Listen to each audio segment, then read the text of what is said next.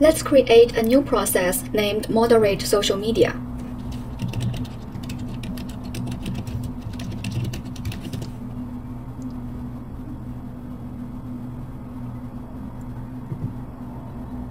Before we begin, let's do some preparation work.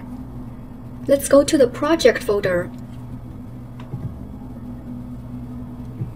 and create two folders inside this project folder. So the first folder, let's name it as input. For the second folder, let's name it as output. Inside the input folder, we are going to store the sample images. So we pretend that these are the images posted on social media that uh, need to be moderated. Um, so the sample images are, are, provided on Canvas, so you can directly download and uh, save these images in this folder. So I already downloaded these images, so I will just copy and paste these images um, into that folder.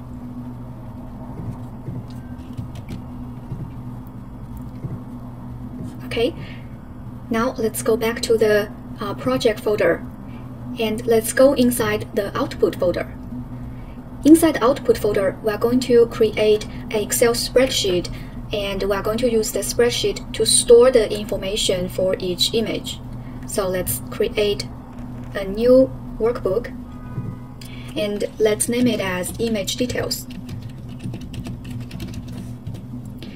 Now let's open the image details and let's create some columns that we are going to use for this data table. Uh, the first column, for the first column, let's name it as image path. So for this column, we are going to store the path of each image that we uh, saved in the input folder. Uh, for the second column, let's name it as adult. Uh, the third one, let's name it as violent and racy uh, and uh, medical. For each of these columns, uh, we are going to use the Google Vision API to perform the safe search. And then we are going to save the likelihood of that image having any of these contents.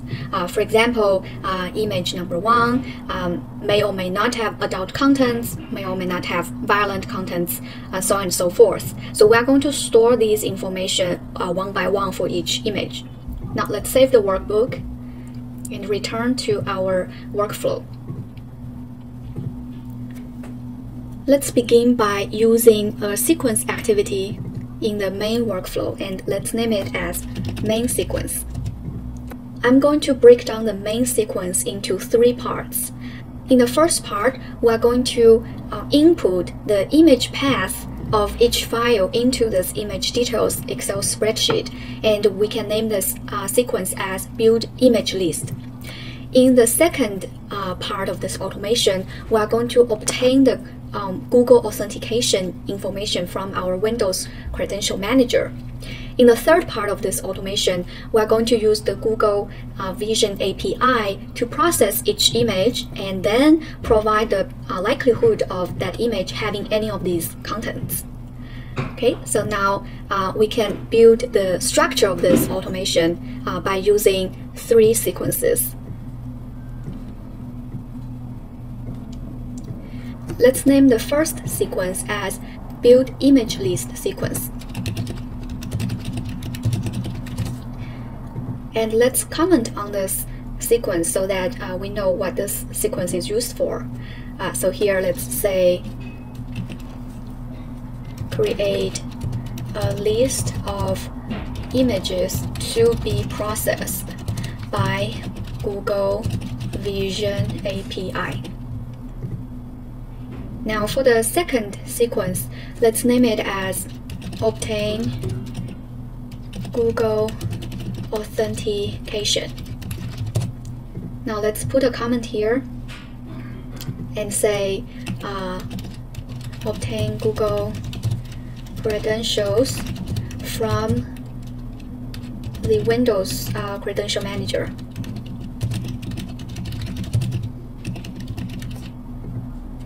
Now for the third sequence, let's name it as perform safe search.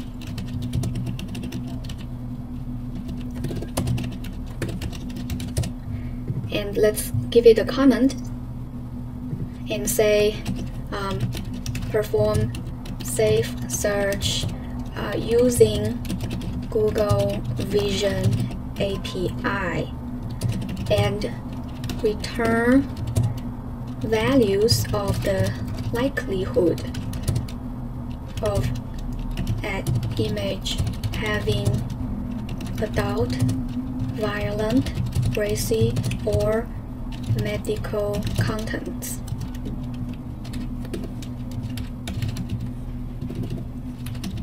Alright. Now let's start uh, configuring activities for each of these sequences. Let's begin by building activities for the first sequence, the build image list sequence.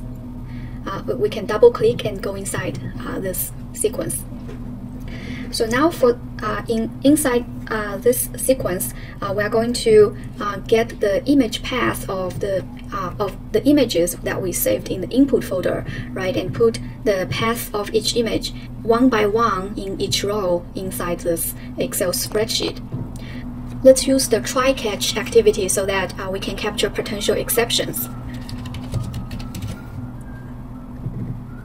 And inside the try block, uh, let's use an Excel uh, scope application. Application scope.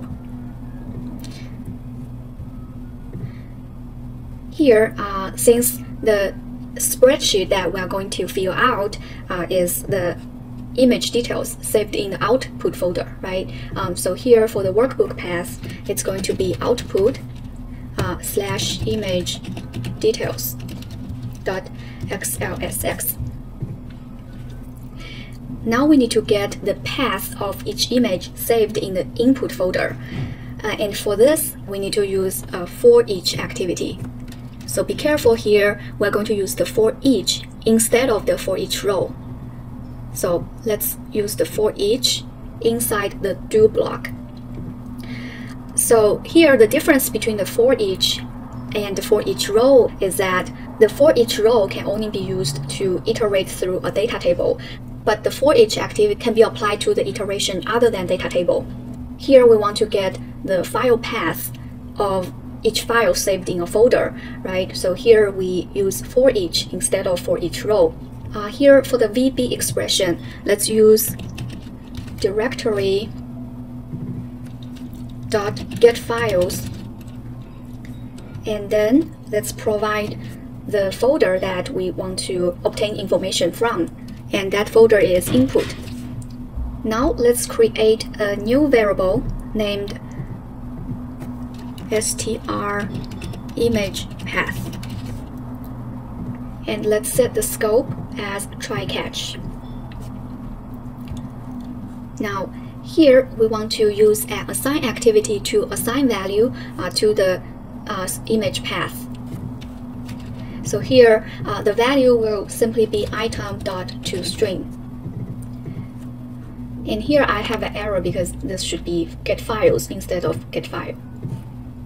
Now that we get uh, the image path of each file, the next step would be write this value to the corresponding cell, right? For example, if we get the uh, first image path that will go into cell A2, and for the next iteration, it will go to A3, so on and so forth.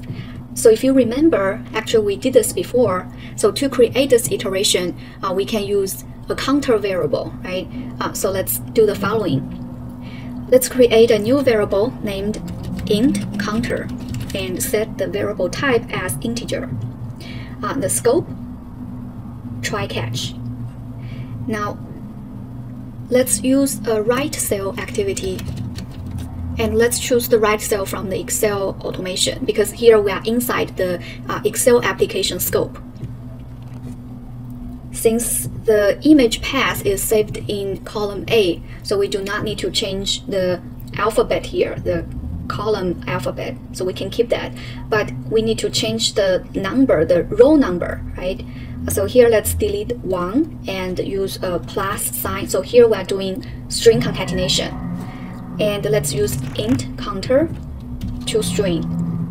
And if you remember, uh, we need to set the default value of the int counter uh, as 2 because the starting point, like if you uh, write the first value into the spreadsheet for the image path, it will go into cell A2, right? Instead of cell A0, there's no cell A0 and it's not A1. So it's A2, right? That's the starting point. So we need to set the default value as 2.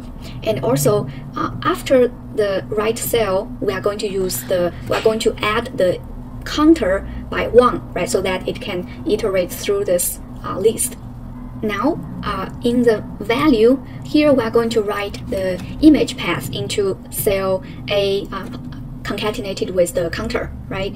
Uh, and after that, as I said, we need to use assign activity to add the counter by 1. So that will be int counter equals int counter plus 1.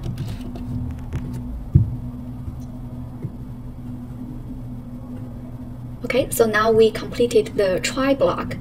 And for the catch block, we can simply set the exception to system.exception. And if you want, you can also add some log messages to log the errors. Now let's save the workbook and go back to the main workflow. And till now, we can actually test our automation to see whether uh, the first sequence is working. So now let's run this automation.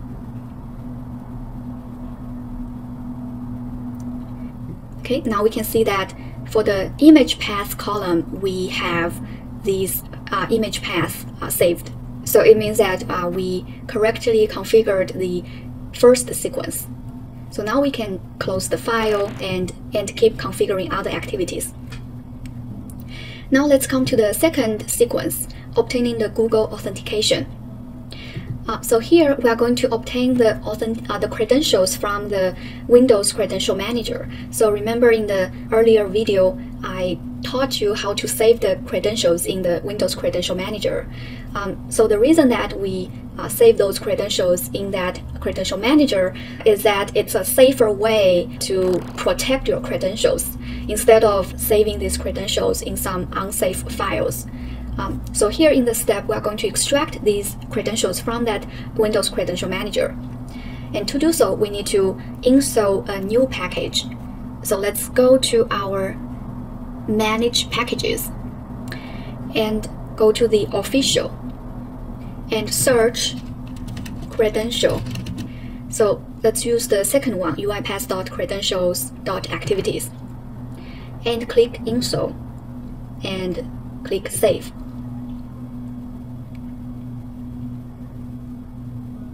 Now let's go inside the Obtain Google Authentication sequence. And let's add an activity named Get Secure Credential. Now for the target, we should use the name of the credential that we uh, created in the Windows Credential Manager. So if you remember, that name is Google Authentication. So please double check your spelling, otherwise your credentials cannot be correctly extracted. And now for the output, let's create a variable named str Google secret for the password and a new variable named str Google ID for the username. Now go to the variable section and you can see that we have these two variables. And you can see that for the uh, secret variable uh, the variable type is called secure string because this is a password right? Uh, so this variable type is called secure string.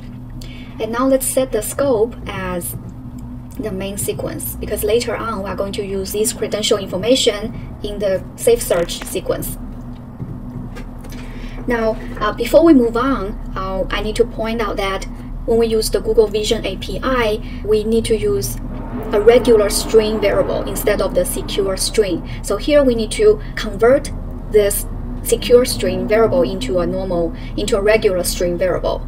So let's create a new variable. Let's call it uh, str secret. And keep the variable type as string and change the scope into the main sequence. And here, let's use an assign activity. So we want to convert the uh, str Google secret, which carries the variable type as secure string, into um, the str secret, which is a regular string type of variable. So here, uh, in the on the to side, we are using the str secret. And here uh, on the right hand side, the VB, uh, let's do the following. New system net dot network credential. In parentheses string dot empty comma str google secret and dot password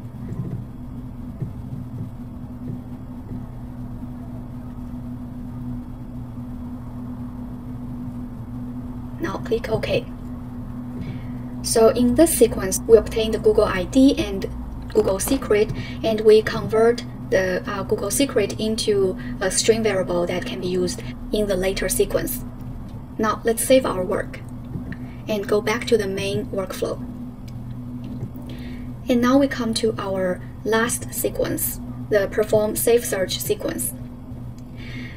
When we use the Google Vision API, we need to install another package so let's go to the Manage Packages and go to the Go Market. Here, let's search Google Vision and you will see that we have Google Vision.activities. So click on this and click Install and Save and click I accept.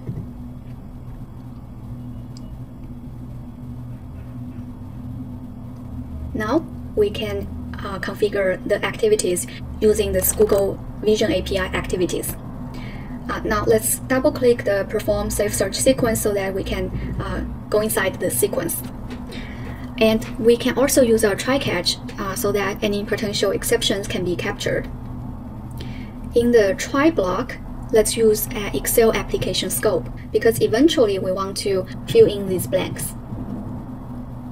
Now for the workbook path, uh, it's still going to be output slash image details dot xlsx and we also need to use a read range uh, from the Excel so that we can get the data table which contains the list of images to be processed. Now uh, for the read range, let's create a variable named dtimage uh, as the output.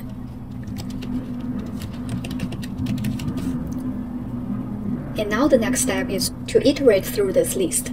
So here, we are going to use a for each row activity. For each row in the DT image, we are going to perform the uh, Google Safe Search, right? So here, uh, let's use the Google Vision Scope. So this is the package that we just installed. So let's drag and drop into the body. And let's provide our credentials here. Uh, the client ID it's going to be the uh, STR Google ID that we obtained from our uh, previous sequence. And for the client secret, uh, this is going to be STR secret. So this is the variable that contains the, the password in regular string data type. Now let's come back and let's use another activity named Safe Search and put it inside the do box.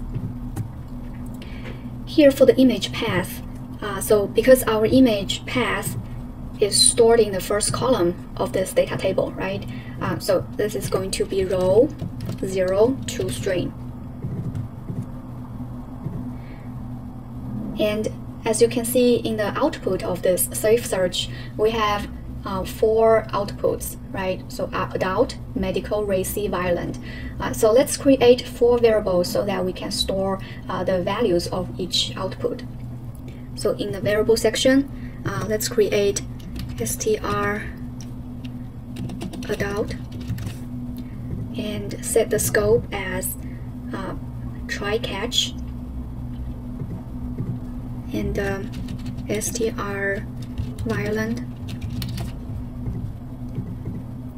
Set the scope as try catch and similarly str racy and scope as try catch the last one str medical scope try catch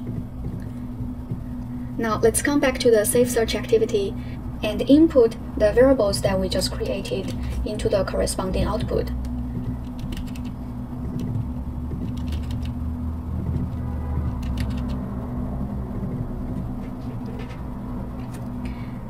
Now that we obtained these outcomes of uh, whether an image contains adult, racy, medical, or violent contents, uh, the next step is to input these outcomes into the uh, spreadsheet, right? So uh, for each image, we're going to input these values column by column.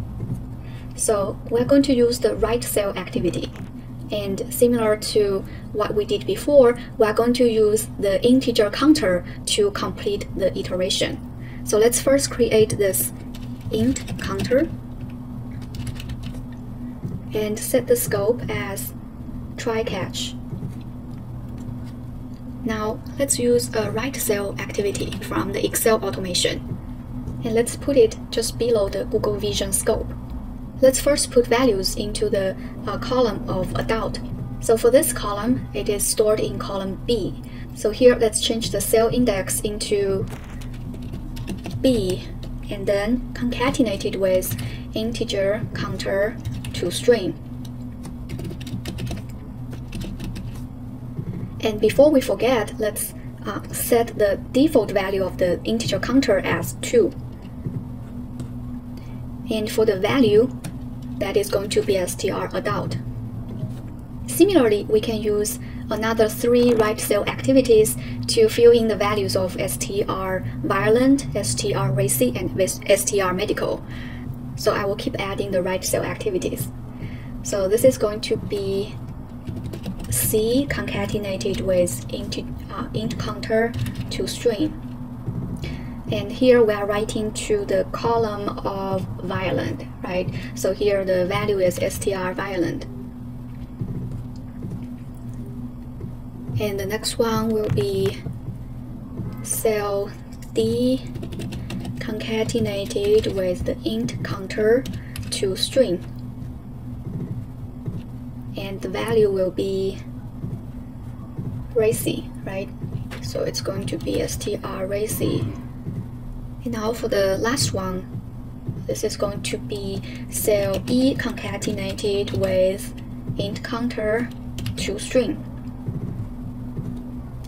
and the value is going to be str medical.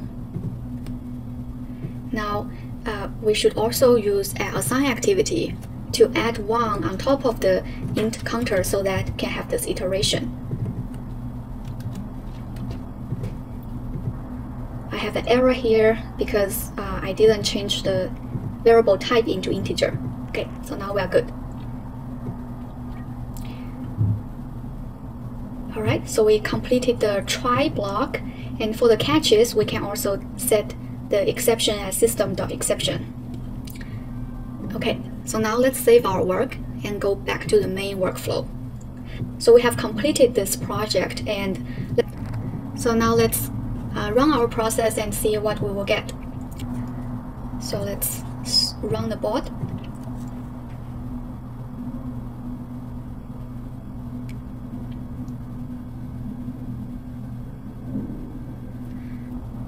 So as you see, the bot is able to fill in the values of the likelihood of an image having any of these contents. Now, if this is your first time running the bot, you will see the following.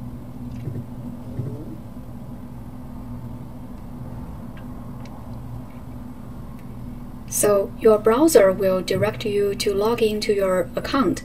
So here you just need to log in your uh, Gmail account that you are used to uh, apply for the Google credential. And then go to advanced and go to uh, this whatever name you use and choose allow and allow Okay, now we can close the browser and then uh, I think the automation is already completed. So let's check. Yeah. So then the uh, second time you run the automation, it will just directly go through the API process without logging into the account again. So let me try to illustrate. So here, let's first clear our results and then save. Okay, so now let's run this the second time, and then you will see that it will go through directly.